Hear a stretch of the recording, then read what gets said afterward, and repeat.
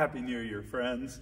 We're either on the 9th or 10th or 11th day of Christmas, depending on when you watch this video, or it might be off into the free future for all I know. But I'm grateful that you've taken the time to be with Christ Church as we pray together. We're celebrating the feast of the Epiphany, the coming of the Magi to worship Jesus. We're celebrating a great feast, and I hope that you'll have a great feast at the end of this video. I'd encourage you to print out a bulletin so you'll know the order of service and be ready to join with us in all of the joy that we experience in the light of Christ which has come into this world.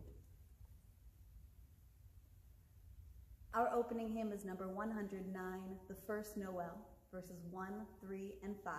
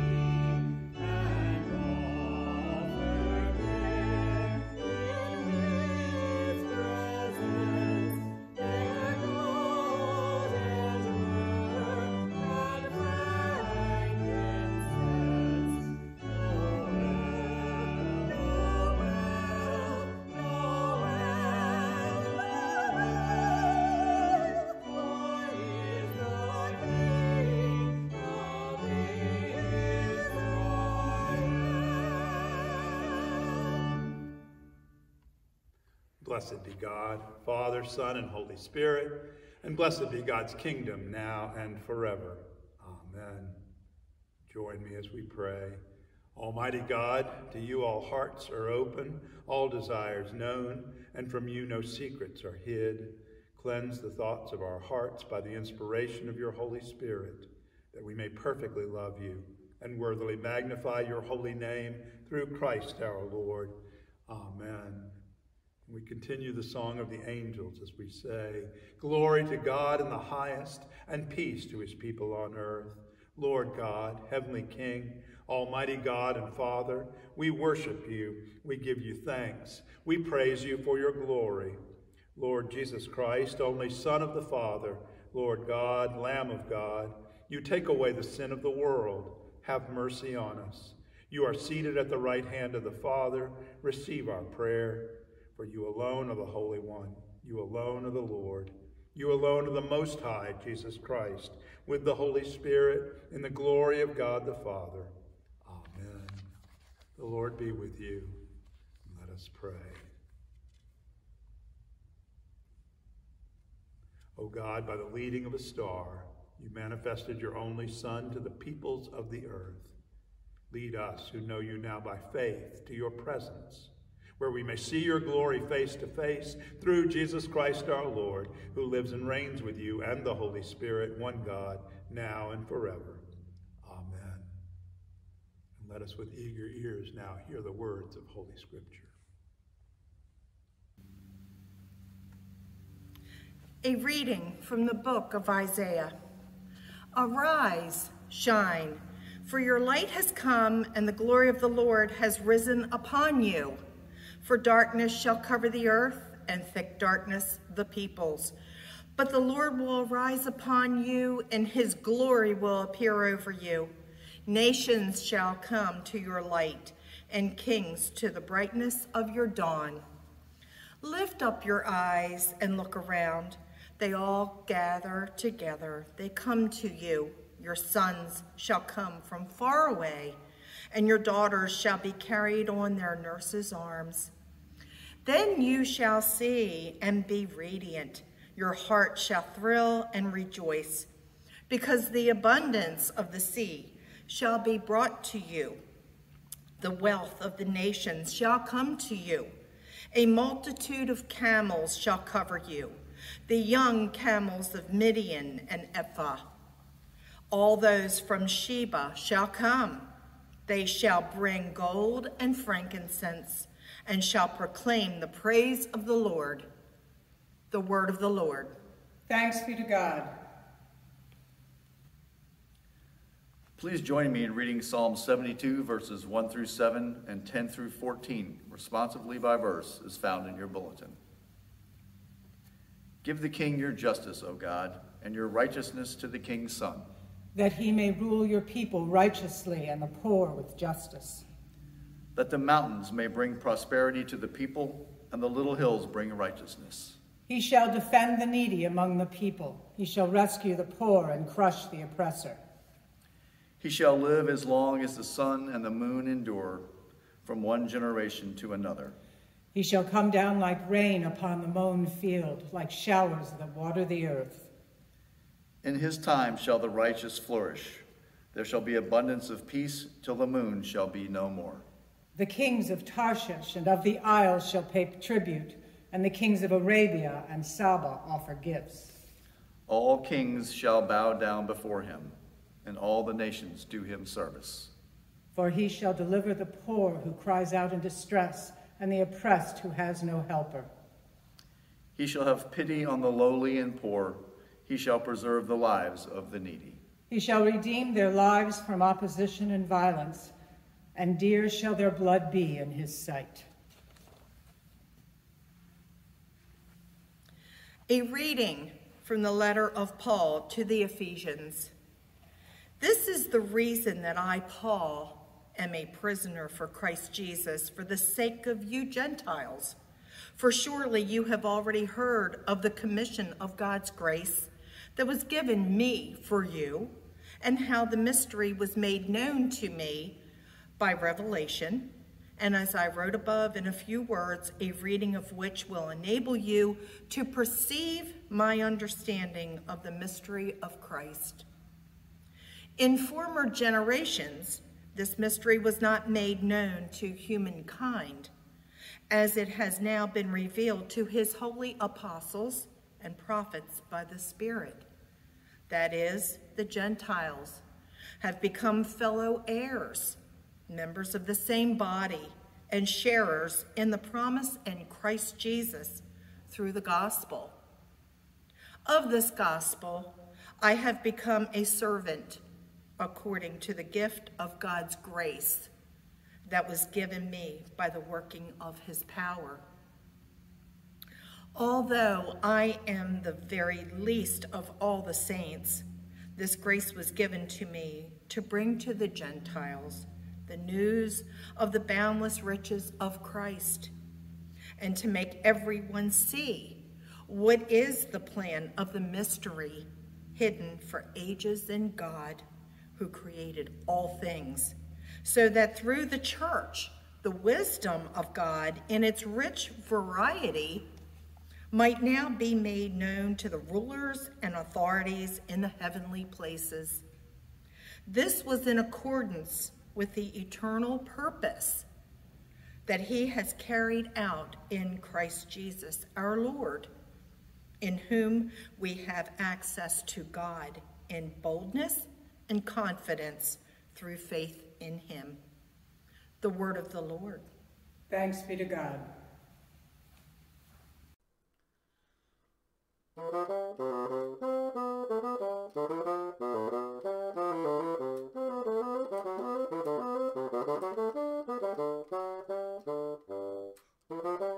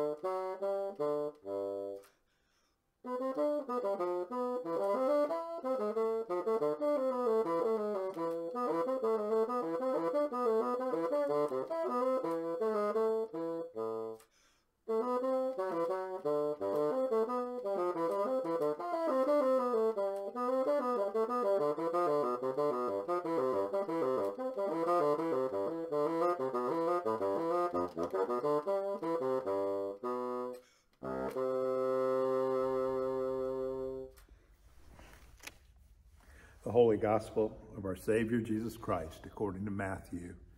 Glory to you, Lord Christ. In the time of King Herod, after Jesus was born in Bethlehem of Judea, wise men from the east came to Jerusalem asking, Where is the child who has been born king of the Jews? For we observed his star at its rising, and we've come to pay him homage. When King Herod heard this, he was frightened, and all of Jerusalem with him, and calling together all the chief priests and the scribes of the people, he inquired of them where Messiah was to be born. They told him, In Bethlehem of Judea. For so it has been written by the prophet, And you, Bethlehem, in the land of Judah, are by no means least among the rulers of Judah. For from you shall come a ruler who is to shepherd my people Israel.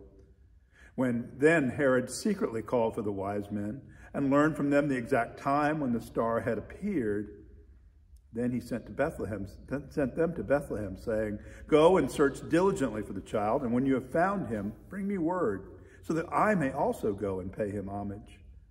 And when they heard the king, they set out, and there ahead of them went the star that they had seen at its rising, until it stopped over the place where the child was. When they saw that the star had stopped, they were overwhelmed with joy.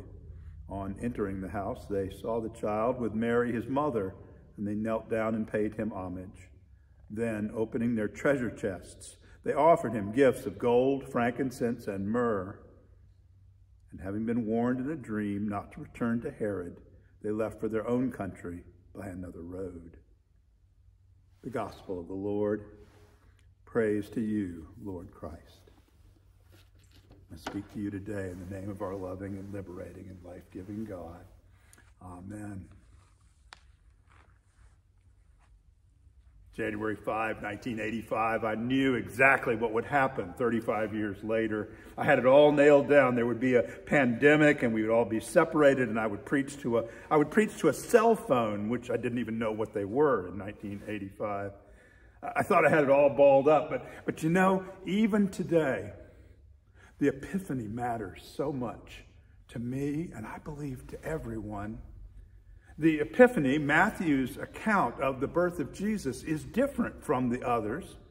In the same way that when you open gifts from your parents and from your partner and from your children, they all are different because children's gifts are given in one way and, and partners' gifts are given because of the love that you feel in relationship and parents' gifts are given because of that lifelong relationship. Matthew, Mark, Luke, and John give us different gifts.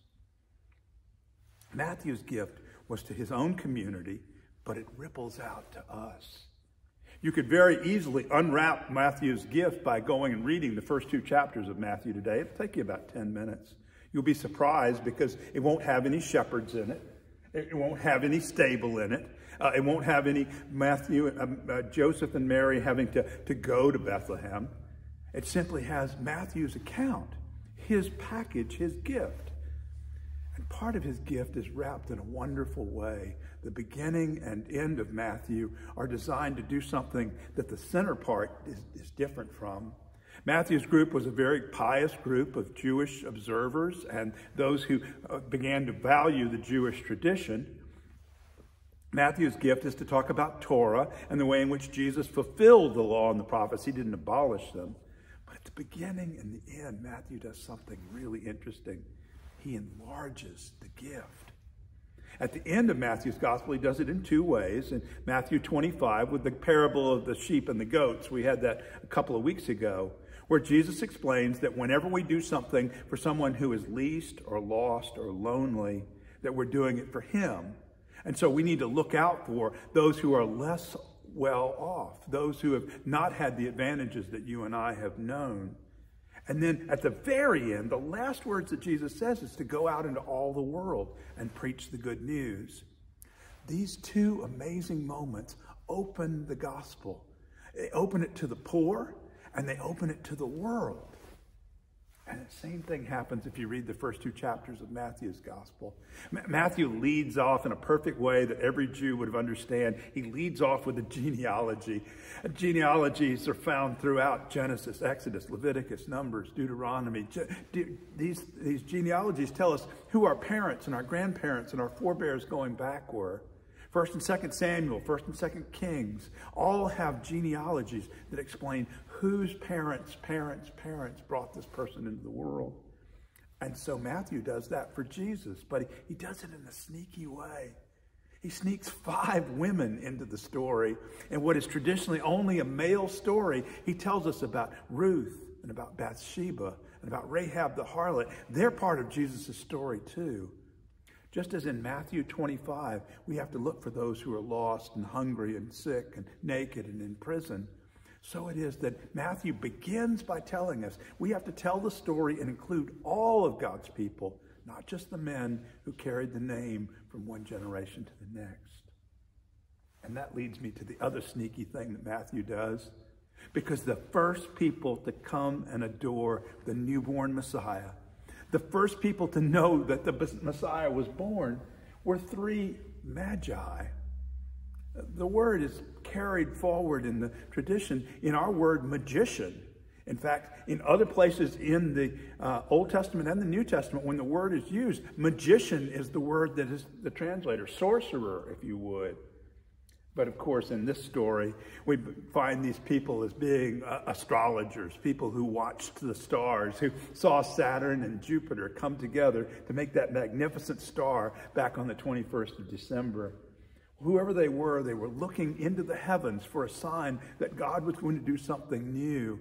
Much as you and I might look for a sign that God's going to make 2021 a different time, these men were looking for something new to happen. Within a few years and decades and retellings of the story, the Magi become more, they become known as kings. You'll see they're all turbaned and crowned as if they were someone special. Indeed, most people in, in the Dark Ages and in the Middle Ages couldn't imagine someone going to King Herod without having a crown on their own head. They gave them names too Melchior, Caspar, and Balthasar. Over time, they began to assign different parts of the world Melchior from Persia, Caspar from India, Balthasar from Arabia. They became men of various kinds of ethnic colorings and remembrances, and their gifts, gold and frankincense and myrrh, have been interpreted and reinterpreted again and again as gifts given to kings, to, to prophets, and to those who will experience suffering. Matthew tells us that the gospel is for the whole world. It's not just for the Jewish people. That God's love and care for the world is for the whole world and not for a small sub subsegment. In 1986, on January the 6th, Bishop Atkinson, the Bishop of West Virginia, a friend of mine, a man who had supported me in my vocation, came and ordained me a priest at Trinity Church in Parkersburg. I was given the vestment that I'm wearing today. It reminds me again and again that the things that we share with the world are only the things that we have received. The, the gifts that we give out in the world are the gifts that we received. I received love and care and direction from Bishop Bob and I hope that I've given love and care and direction in the years that followed. And these three men, these three that looked up into the stars and brought the world to the Christ child, well, they for me are part of what I'm supposed to do to bring the world to see the light of Jesus, his love and his care. And most astonishingly, it all happens in a little baby. As I reflected back on 1986, I immediately then drawn to 1987 when Mimi and I left Wheeling Hospital with a, with a nine pound baby girl in our arms. Uh, we looked at each other and tried to figure out what it would mean to care for this child and how fragile and small she need, seemed and unable to express her uh, needs. It seems to me that the church oftentimes is small and fragile and has difficulty expressing its needs. But along the way, God sends these lights. Now, part of it is that you are to look for the light. You are to look for the Christ child there in your home. You are to look for the ways in which God loves and cares. But Matthew would also tell you, you must go out and be the light. It's not enough simply to see the church as a place to be cared for, surrounded by gifts and the people that love us. It's also the moment that we use to leverage out into the world to go into all the world and tell the good news that God's love is for Persia and India and Arabia, that God's love is for South America and North America, that God's love is for the people that surround us, that God's love is for the poor and the lost and the hungry and the imprisoned. As I reflect on 35 years, I keep thinking back on the people who have brought me light and I hope in these days, as Epiphany dawns on us, that you will think about the people who have brought you light. People who have pointed the way and said, This is the truth, and this is the path that you can take. People who have fed you or given you a place to stay. But then, go and be those people. The wise men did not return to Herod as instructed by the king. They went on their own way on another road to another path. You don't have to always follow the norms and expectations of the day, but it is possible to be something new because of the light that has been shown to you. Caspar, Melchior, Balthazar, you have brought light to the world by reflecting the light that Jesus brought into the world. Now we must carry that light, be that light, share that light, shine with that light. This epiphany, this year and for all the years to come. Amen.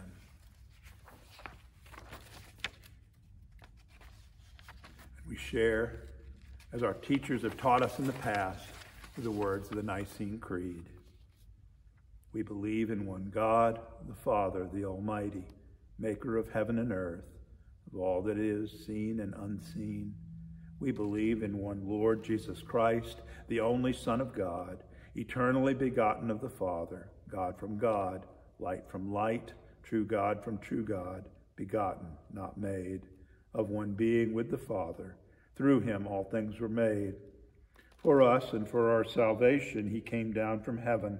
By the power of the Holy Spirit, he became incarnate from the Virgin Mary and was made man. For our sake, he was crucified under Pontius Pilate. He suffered death and was buried. On the third day, he rose again in accordance with the scriptures. He ascended into heaven and is seated at the right hand of the Father. He will come again in glory to judge the living and the dead, and his kingdom will have no end. We believe in the Holy Spirit, the Lord, the giver of life, who proceeds from the Father and the Son. With the Father and the Son, he is worshiped and glorified. He has spoken through the prophets. We believe in one holy Catholic and Apostolic Church. We acknowledge one baptism for the forgiveness of sins. We look for the resurrection of the dead and the life of the world to come. Amen. And now let us join our hearts and minds with the whole world offering prayers to God. The prayers of the people is found in your bulletin.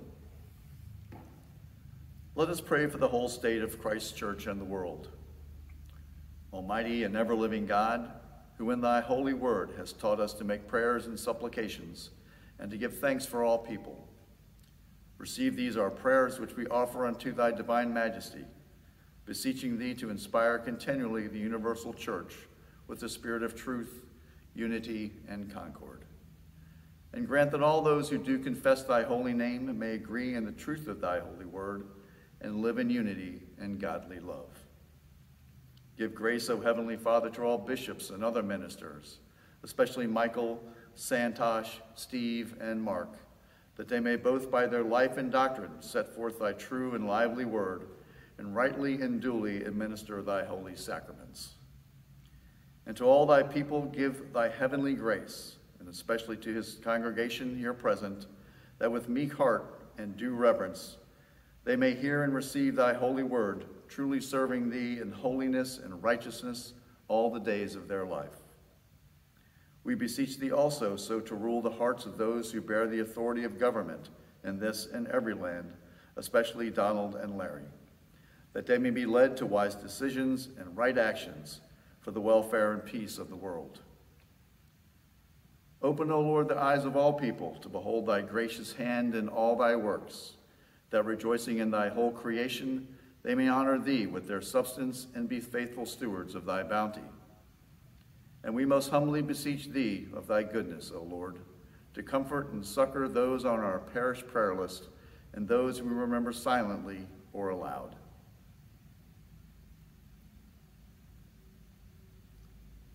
And all those who in this transitory life are in trouble, sorrow, need, sickness, or any other adversity. And we also bless thy holy name for all thy servants departed this life in thy faith and fear.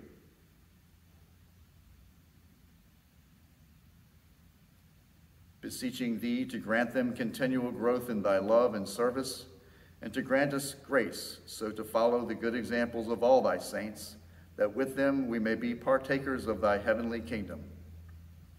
Grant these our prayers, O Father, for Jesus Christ's sake, our only mediator and advocate. Amen. Amen. And we conclude our prayers with the prayer for January the 1st, the feast of the holy name of Jesus. Eternal Father, you gave to your incarnate Son the holy name of Jesus to be a sign of our salvation. Plant in every heart, we pray, the love of him who is the Savior of the world, our Lord Jesus Christ, who lives and reigns with you and the Holy Spirit, one God, in glory everlasting. Amen. Let us confess our sins against God and our neighbor. Have mercy upon us, most merciful Father. In your compassion, forgive us our sins, known and unknown, things done and left undone and so uphold us by your Spirit, that we may live and serve you in newness of life, to the honor and glory of your name, through Jesus Christ our Lord. Amen.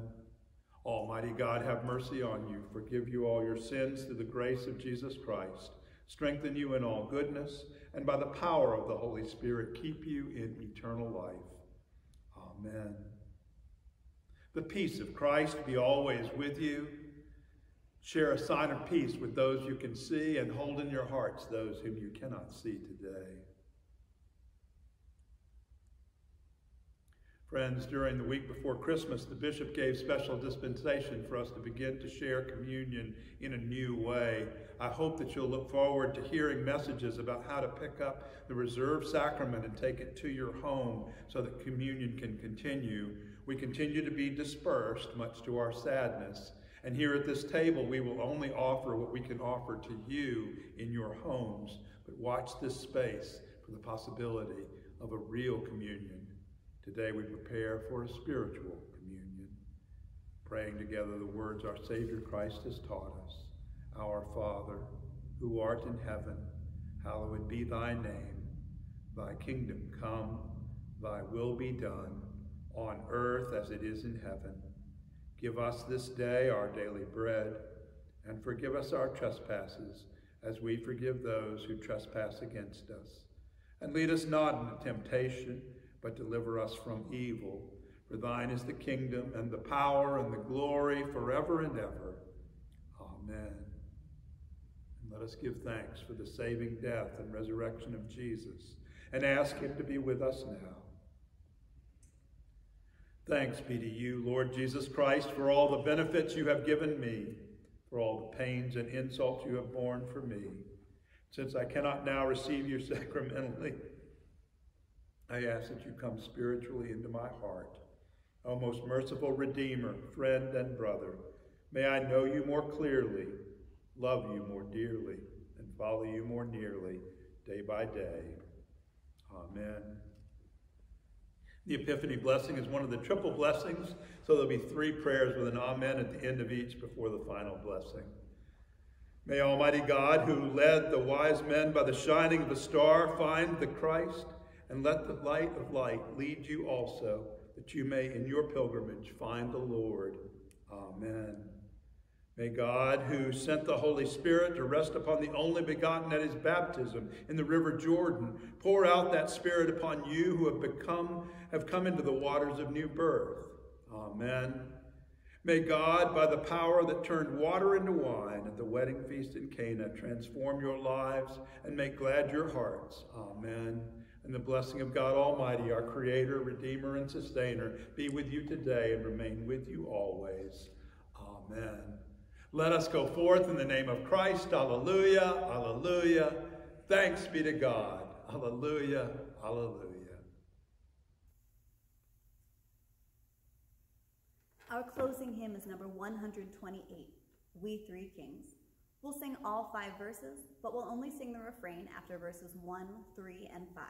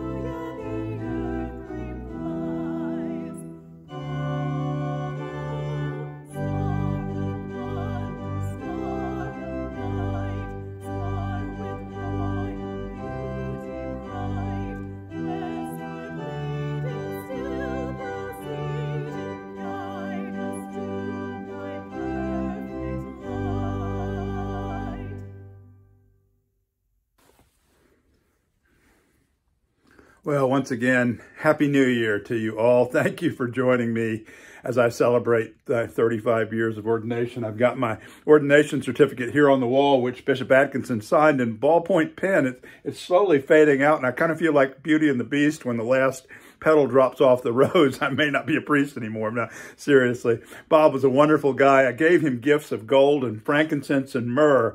Uh, at that uh, ordination service, uh, jar of Gulden's golden mustard, uh, and since uh, frankincense is smelly stuff, a bottle of Old Spice aftershave, and myrrh being embalming fluid, a bottle of scotch. I've tried to remember Bob fondly, and I'm glad that you got to share in those remembrances.